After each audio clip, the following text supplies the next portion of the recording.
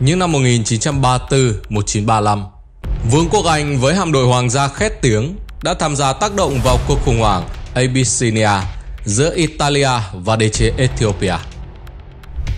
Trong quá trình tác chiến, thực tế chiến trường đã chứng minh cho Bộ Hải quân Hoàng gia thấy rằng nước này cần một con tàu hỗ trợ các hàng không mẫu hạm. Nó phải khác biệt với tàu khu trục, phải thực hiện nhiều nhiệm vụ sửa chữa và bảo dưỡng máy bay trên các tàu sân bay và toàn bộ các loại máy bay do Hải quân Hoàng gia Anh vận hành. HMS Unicorn ra đời như một lời giải đáp hoàn hảo cho nhiệm vụ đó.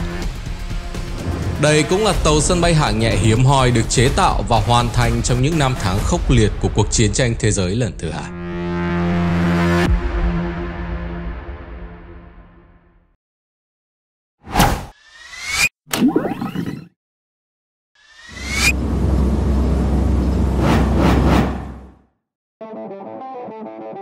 HMS Unicorn là một tàu sửa chữa máy bay và tàu sân bay hạng nhẹ được đóng cho Hải quân Hoàng gia vào cuối những năm 1930. Khác biệt so với những hàng không mẫu hạm và tàu chiến thông thường của Hải quân xứ sở sương mù, Unicorn là chiếc duy nhất trong lớp của mình. Tuy nhiên con tàu vẫn có những thiết kế tương đồng và chịu ảnh hưởng lớn bởi hàng không mẫu hạm HMS Ark Royal nổi tiếng. Việc chế tạo được bắt đầu vào năm 1939 tại hãng Holland Wolf Wolff ở Belfast, Bắc Ireland. Đây là một hãng đóng tàu khá nổi tiếng được thành lập bởi Edward James Holland và Gustav Wilhelm Wolff năm 1861. Holland đã mua lại một xưởng đóng tàu nhỏ trên đảo Queen ở Belfast năm 1858 và sau đó trở thành giám đốc quản lý của xưởng. Vào thời điểm ấy, xưởng đã đóng nhiều loại tàu, trong đó nổi tiếng nhất là con tàu Titanic huyền thoại.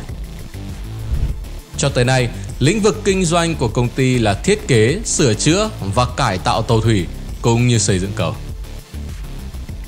Holland Wolff cũng sở hữu ụ tàu khô ở Belfast thuộc loại lớn nhất thế giới. Có thể coi SMS Unicorn là một trong nhiều dự án tàu quân sự tâm huyết của công ty được hạ thủy vào ngày 20 tháng 11 năm 1941. Mất 2 năm đầy khó khăn trong công việc chế tạo khi Vương quốc Anh tham gia chiến tranh thế giới thứ hai. Con tàu nhập biên chế hoạt động vào ngày 12 tháng 3 năm 1943. Sau khi nhập biên chế, HMS Unicorn dự định sẽ phục vụ trong hạm đội Viễn Đông.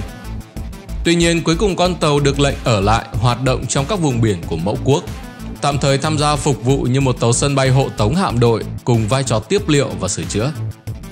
Thời điểm đó, trên ADMS Unicorn là hàng loạt các phương tiện hiện đại dùng để bảo trì và sửa chữa mọi loại máy bay của không lực hạm đội hoàng gia, bao gồm cả thủy phi cơ. Thậm chí còn có hẳn xưởng sửa chữa và kho chứa. Khoảng 136.275 lít xăng máy bay luôn sẵn sàng phục vụ mọi nhiệm vụ tác chiến của hạm đội. Tuy là một tàu sân bay hạng nhẹ, được sử dụng chủ yếu để phục vụ cho các nhiệm vụ hộ tống cũng như hỗ trợ các hàng không mẫu hạm chủ lực. SMS Unicorn vẫn sở hữu chiều dài tổng thể khá tốt với 195,1 m, sườn ngang 27,5 m, mức mớn nước vào khoảng 7 m. Kích thước này cho phép con tàu đạt 20.300 tấn khi đầy tải, thay vì là 14.750 tấn như trên các thiết kế ban đầu. Trái tim của nó là hệ dẫn động gồm 4 tuabin hộp số Parson ghép thành cặp kết hợp cùng hai trục chân vịt. Hơi nước được cung cấp bởi 6 nồi hơi Admiralty, mỗi tua bin đều hoạt động ở áp suất cao cho tổng công suất 30.000 kW, giúp Unicorn có thể đạt tốc độ tối đa 44 km/h. Tuy nhiên, đây vẫn là một tốc độ khá hạn chế so với nhiều mẫu tàu sân bay chủ lực khác thời đó. Con tàu mang trên mình hơn 3.000 tấn dầu nhiên liệu, gia tăng tầm hoạt động của nó lên đáng kể với 13.000 km ở tốc độ hải trình 25 km/h có khoảng 1.000 sĩ quan và thủy thủ đoàn phục vụ trên tàu trong giai đoạn đầu hoạt động. Vào ngày 24 tháng 3 năm 1943, các phi đội máy bay đầu tiên được biên chế lên Unicorn để thực tập huấn luyện hạ cánh tại Clit và hoạt động chống tàu ngầm tại vùng biển thuộc xứ sở sương mù. 3 tháng sau, con tàu được lệnh thực hiện các chuyến tuần tra về phía bắc đến Na Uy cùng với tàu sân bay ADMS Illustrious Chuyến hành trình khá thuận lợi và nó quay về một cách an toàn vào đầu tháng 7. Mặc dù vai trò ban đầu của Unicorn là một tàu tiếp liệu máy bay cũng như là một hàng không mẫu hạm phụ trợ. Tuy nhiên vào tháng 3 năm 1943, Unicorn được coi như một tàu sân bay tác chiến thông thường của hạm đội, gia nhập lực lượng 5, thực hiện nhiệm vụ hỗ trợ cho chiến dịch Avalanche, cuộc đổ bộ của quân đồng minh lên Salerno. Lực lượng này được đặt dưới quyền chỉ huy của đô đốc Philip Vian. Ngoài Unicorn, còn bao gồm các tàu sân bay hộ tống khác như Attacker, Battle, Hunter và Stalker. Trên thực tế, chiến dịch đã bị kéo dài từ 2 thành 5 ngày theo yêu cầu của chỉ huy lực lượng đổ bộ trên bờ. Với cái giá là 2 triệu 531 nghìn bảng Anh, Unicorn được chú trọng thiết kế với sàn đáp dài 180m cùng đầy đủ các thiết bị phóng như một hàng không mẫu hạm chủ lực. Máy phóng của nó có khả năng phóng chiếc máy bay nặng 6.400 kg lên tốc độ 122 km/h. Trên tàu là hai nhà chứa máy bay với đầy đủ tiện nghi, mỗi nhà chứa cao 5,03 m. Máy bay được vận chuyển giữa nhà chứa máy bay và sàn đáp bằng hai thang nâng thủy lực. Lúc cao điểm có khoảng 36 máy bay hoạt động lưu trú trên tàu.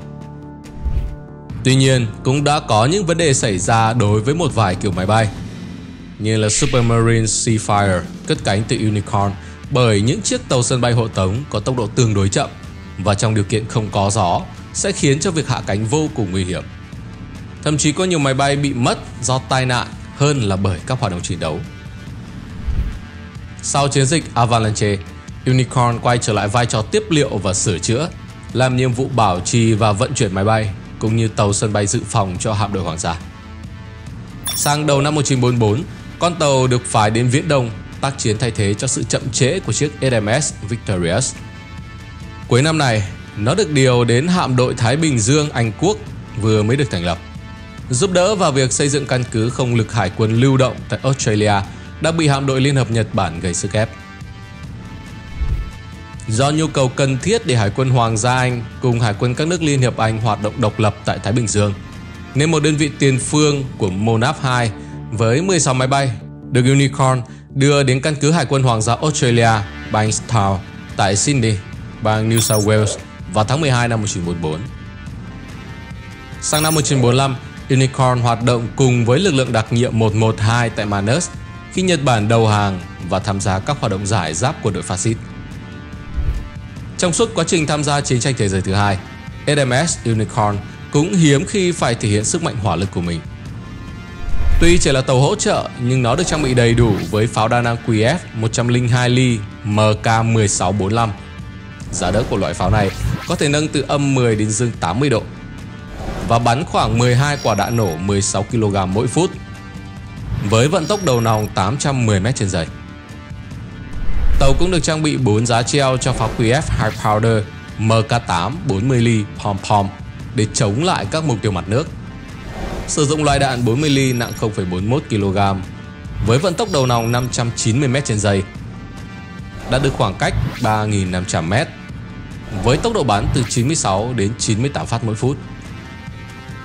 Hệ thống phòng không tầm gần được cung cấp bởi 12 khẩu pháo tự động Wacklingen 20 ly trong hai bệ đôi và 8 bệ đơn. Con tàu được trang bị hai giám đốc Hux. Đây là hệ thống kiểm soát góc cao hiện đại hiếm hoi lắp đặt trên các tàu sân bay. Unicorn còn là hàng không mẫu hạm tàu đầu tiên lắp radar cảnh báo sớm kiểu 281B.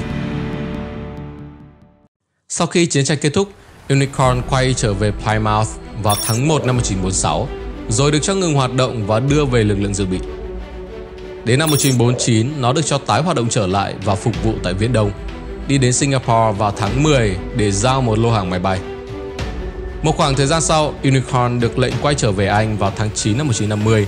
Nhưng sự kiện chiến tranh Triều Tiên bùng nổ đúng tháng 6 năm đó, buộc con tàu phải lưu lại Viễn Đông cho đến tháng 10 năm 1953. Trong giai đoạn này, Unicorn rất cần thiết trong nhiệm vụ chuyên chở binh lính của Liên Hợp Quốc đi đến hoặc rời khỏi vùng chiến sự, cũng như là hỗ trợ cho các tàu sân bay của Hải quân Hoàng gia Anh và khối thịnh vượng chung tại vùng biển Triều Tiên.